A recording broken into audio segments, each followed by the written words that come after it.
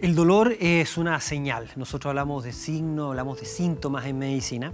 Y el dolor es una señal que está presente en nuestro organismo para alertarnos de que algo no está bien en nuestro cuerpo.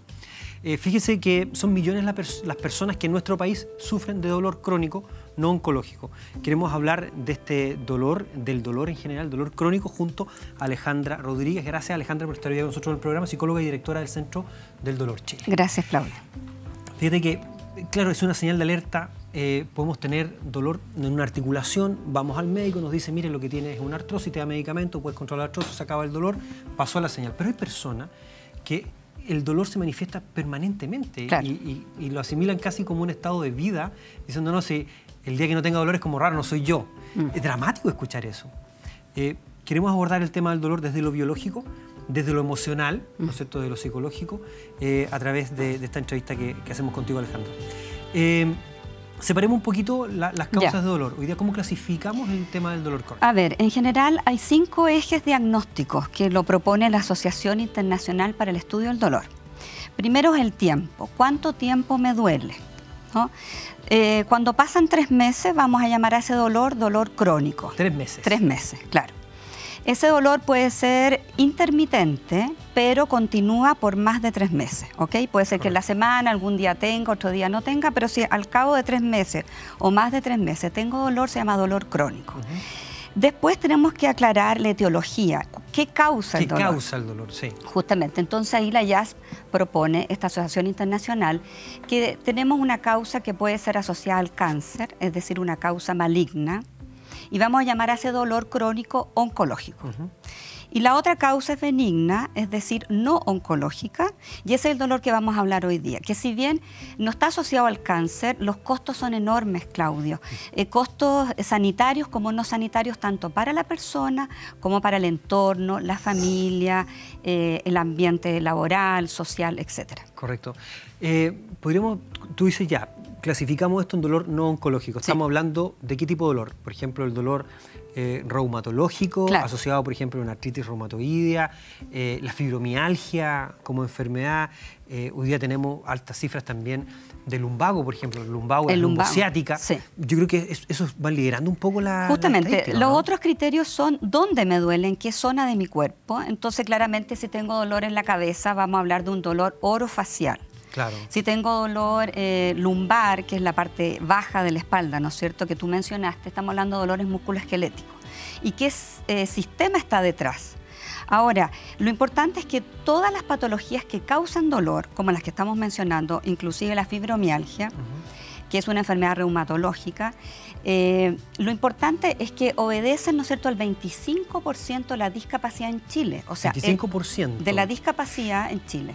Fíjate, tú, tú haces, ya entonces tenemos un, para que vayamos ordenando en tiempo, ¿no es cierto?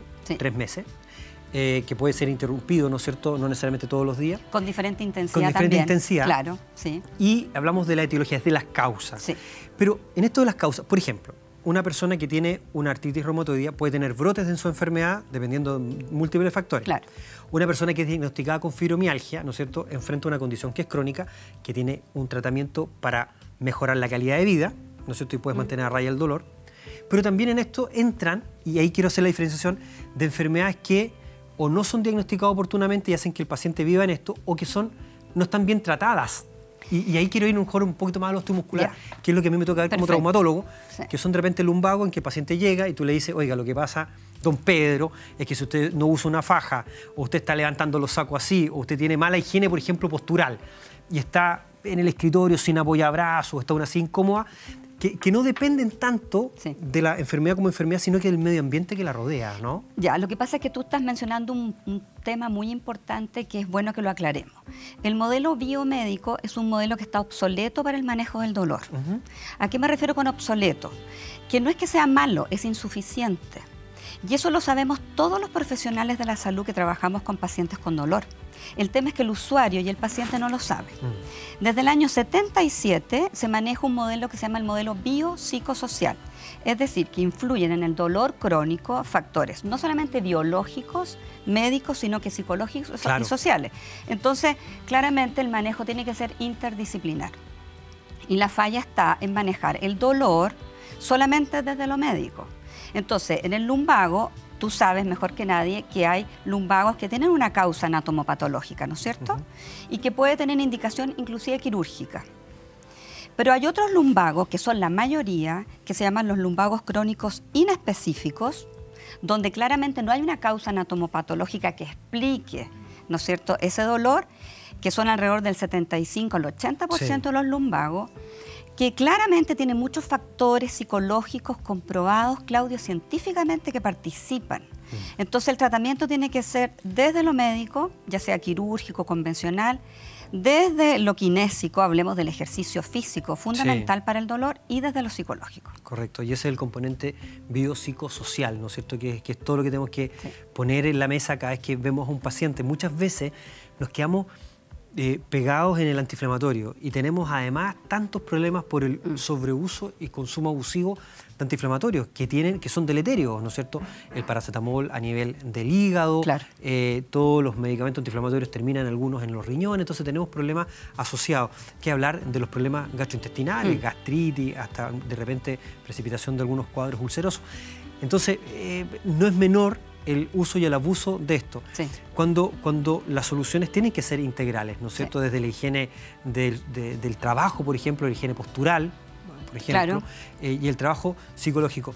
Dado tu especialidad, me gustaría analizar un poquito ese mm. componente. De lo psicológico. Sí, porque, porque estamos acostumbrados como a sentir el dolor, pero muchas personas hoy día se preguntan, bueno, ¿por qué me hablan de un componente emocional si yo en el fondo el dolor lo siento? Claro. no me vengan a mezclar a mí cosas con, la emoción. Expliquemos un poquito cómo, cómo se gatilla, cómo está metido en esto lo, lo, emocional. Ya, ahora yo quiero aclarar lo primero, que cuando uno dice que frente a un dolor físico hay factores psicológicos, se da la impresión de que son eh, falsos, ¿no? que se está cuestionando el dolor. No, en el dolor físico participan factores psicológicos, cognitivos, emocionales y conductuales. Y esta es una tríada de factores que una cosa influye sobre la otra, como un engranaje. Correcto. ¿ah? Inclusive los autores plantean todas las investigaciones categóricamente que los factores cognitivos, por ejemplo, lo que yo pienso y cómo lo pienso, es determinante para la salud. Entonces, estamos claros que el tratamiento único médico, ya sea convencional o quirúrgico, es insuficiente y tenemos que incluir. Pero el psicólogo está, Claudio, para tratar, por ejemplo, eh, los costos sanitarios del dolor. ¿ya? Por ejemplo, lamentablemente causa el dolor crónico depresión. trastornos de, ansiedad. Pero el psicólogo no solamente debe tratar el costo sanitario, que es comprensible que alguien que esté cuatro años con dolor físico, sin poder resolver esa problemática, no tenga un trastorno del ánimo. Es absolutamente comprensible y debe ser tratado porque ya es una enfermedad. Se van juntando los factores como una bola de nieve, pero el psicólogo debe participar en la evaluación de los factores que están presentes en el dolor. Factores cognitivos, como te mencioné, hay varios, como por ejemplo la catastrofización que es un factor con evidencia en la participación. Y yo puedo predecir, al evaluar la catastrofización, si un paciente va a cronificar, si un paciente va a tener buen o mal pronóstico su dolor. Claro. Entendiendo esto y, pensando en las personas que ven el programa y que están con dolor hoy día, eh, desde la medicina eh, tú participas en una, en una agrupación, en una clínica, en un centro que está trabajando en esto. ¿Tienen solución? ¿Cómo los podemos ayudar a ellos? Absolutamente. Ahora, la idea tampoco se trata de exacerbar expectativas idealizadas, que siento que caemos los profesionales a veces en esa tendencia, sino a ser moderados. Pero la moderación implica que puedo aliviar el dolor, sí. ¿Puedo mejorar mi calidad de vida? Sí. Correcto. Absolutamente. Ahora, a veces eliminar completamente el dolor es difícil. Inclusive las, pacientes refieren que mejorando su calidad, bajando un monto, pueden hacer sus cosas, retomar su vida eh, doméstica, familiar, laboral. Porque como te refería anteriormente, los costos son enormes. Entonces, eh, existen no solamente eh, factores psicológicos que influyen, como el que te mencioné, la catastrofización, el optimismo está comprobado científicamente, la manera de, sentirme yo capaz de manejar, que se llama autoeficacia, es un factor central hoy día en los tratamientos. Si el paciente cae en un estado de indefensión, en un estado donde él no puede sentirse capaz de manejar el dolor, eso va a aumentar la intensidad y la cronificación del, dolor. Hoy día es importante entonces eh, que usted pueda conocer que existen centros, que hay especialistas que abordan este tema del dolor, mirándolo, ya lo conoce usted, de distintas áreas desde el dolor biológico, es decir, desde el dolor que sentimos corporalmente, desde lo emocional, y esto quedó claro hoy día en el programa que no significa que usted sea hipocondriaco o que usted esté inventando, no, es, el componente emocional que tiene el dolor en su vida, pero también que trasunta a la gente que está cerca suyo, porque también va enfermando y va produciendo problemas a la gente que vive con alguien que está con este tipo de dolor crónico. En el programa de hoy, entonces, usted sabe que existen centros especializados en el manejo del dolor crónico. Muchas gracias Alejandra por estar hoy día con nosotros. Agradecimientos, por supuesto, agradecimientos al Centro del Dolor Chile. ¿Alguna página donde las personas puedan consultar o puedan acercarse? Eh, .cl.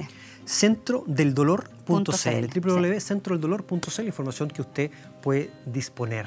Hacemos la pausa y ya volvemos con más información para ustedes.